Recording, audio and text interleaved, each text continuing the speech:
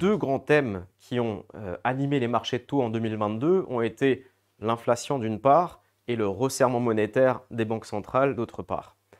La vigueur de l'inflation, qui a atteint 9,5% au pic aux États-Unis au mois de juin de l'année dernière et un pic de 10,6% en Europe euh, au mois d'octobre de l'année dernière, a forcé les banques centrales à monter de manière significative leur taux directeur.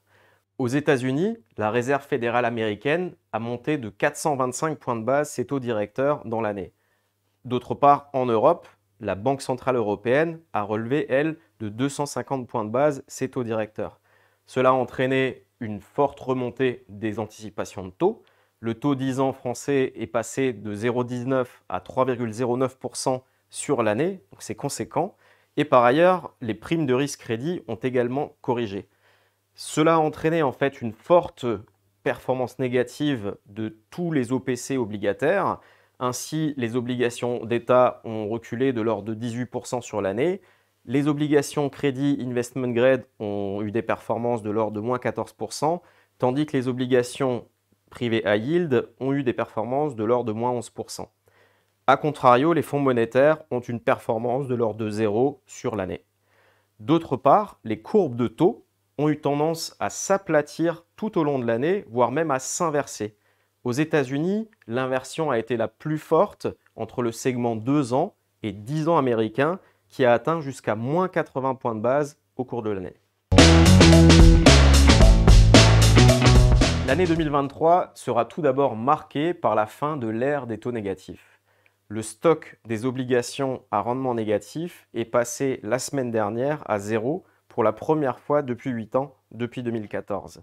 Ce stock d'obligations à taux négatif avait atteint un pic à 18 400 milliards de dollars en 2020. Ensuite, en 2023, nous attendons à trois gros thèmes. D'une part, la normalisation progressive de l'inflation, qui devrait amener les banques centrales à progressivement réduire le rythme et l'amplitude de leur hausse de taux pour probablement arrêter leur resserre monétaire dans les trimestres à venir.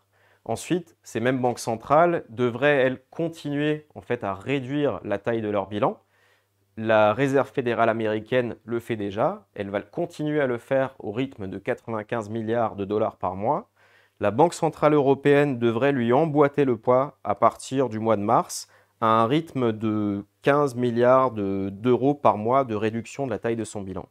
Ensuite, nous attendons également à une offre obligataire qui devrait être considérable cette année, tout particulièrement sur les marchés obligataires européens.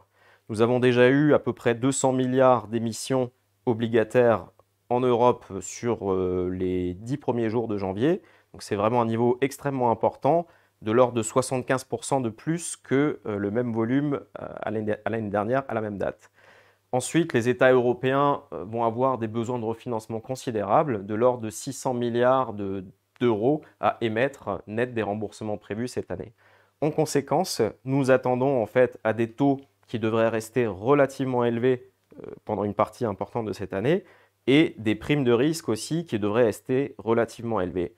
Ainsi, les marchés obligataires seront porteurs pour nous dans les prochains mois et a contrario, nous ne nous attendons pas en fait à un effet d'emballement sur les taux, puisque pour nous, l'essentiel du chemin est déjà réalisé.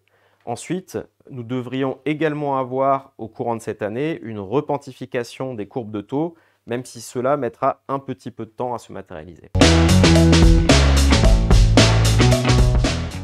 Avec la remontée des taux courts, les fonds monétaires retrouvent l'intérêt des investisseurs. Ces fonds monétaires, dont la performance est relativement proche de celle de l'Ester, c'est-à-dire du taux interbancaire européen, ont aujourd'hui une performance instantanée assez proche de l'Ester, donc assez proche de plus 1,90%, qui est le niveau actuel de l'Ester.